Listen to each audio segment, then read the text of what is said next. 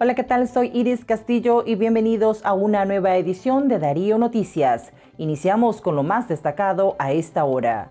Daniel Ortega no soporta la valentía de Monseñor Rolando Álvarez y por eso quiere deshacerse de un gran líder espiritual, asegura el sociólogo costarricense Federico Tinoco. Para el experto en sociología, Monseñor Álvarez no es un cristiano mediocre ni un católico paños tibios, mucho menos un servil de un pobre de espíritu como lo es Daniel Ortega. Es por ello que Ortega necesita deshacerse de un gran líder espiritual, porque no soporta que exista un mártir del pueblo nicaragüense, pues Monseñor está en el corazón de todos los cristianos nicaragüenses y Daniel Ortega sabe que él está muerto para los nicaragüenses y tiene un gran temor a ese líder enfatizó. En tanto, el obispo Álvarez está presente en las oraciones de miles de católicos para que lo proteja Dios, Jesucristo y la Virgen Inmaculada, a quienes jamás podrán vencer Daniel Ortega ni Rosario Murillo, dijo Federico Tinoco en su conclusión.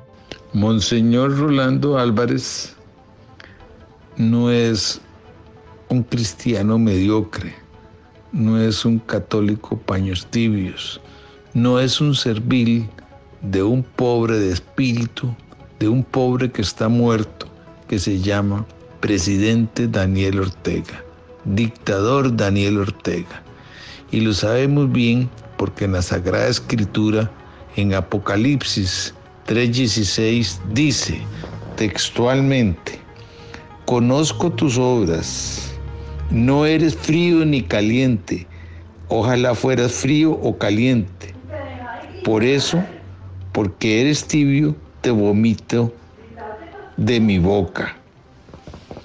Entonces, él necesita deshacerse de un gran líder espiritual porque no soporta, no soporta que exista un mártir del pueblo nicaragüense.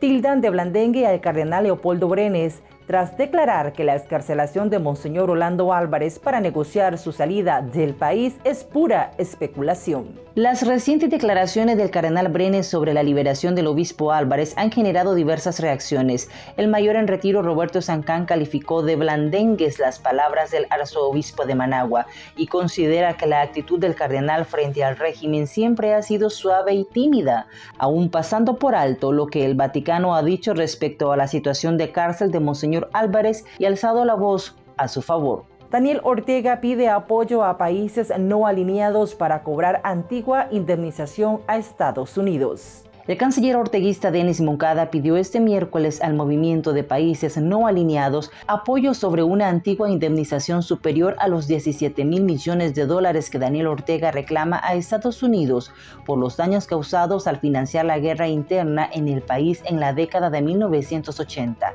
El reclamo de la indemnización ordenada el 27 de junio de 1986 en una sentencia de la Corte Interamericana de Justicia fue abandonada por Nicaragua oficialmente en 1991, pero Daniel Ortega ha vuelto a insistir en cobrar la millonaria cantidad. El régimen de Daniel Ortega hizo cambios diplomáticos en Honduras y La Haya. Cancelado quedó hoy el nombramiento de Siddhartha Francisco Marín como embajador nicaragüense ante Honduras, informó el diario oficial La Gaceta. Asimismo, se conoció el nombramiento de Casandra Estefanía Gómez como segundo cónsul de la República de Nicaragua en La Haya, Reino de los Países Bajos. La medida ocurrió tras el rompimiento de relaciones diplomáticas con ese país, según el acuerdo presidencial que estableció el cese de las funciones consulares de Argüello Gómez y otros funcionarios diplomáticos como Gómez El pugilista nicaragüense Kevin Hernández finalmente se rindió a la muerte tras ser noqueado en su debut.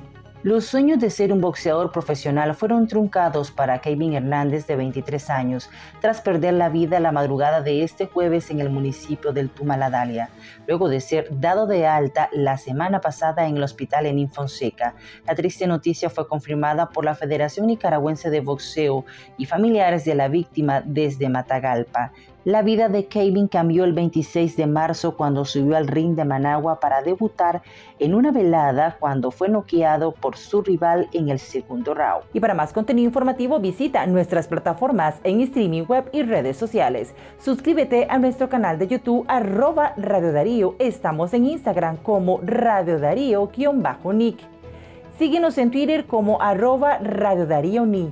Dale me gusta a nuestra página en Facebook Radio Darío o síguenos en nuestro sitio web radiodarío893.com. Estuvo con ustedes Iris Castillo y nos vemos en una nueva edición.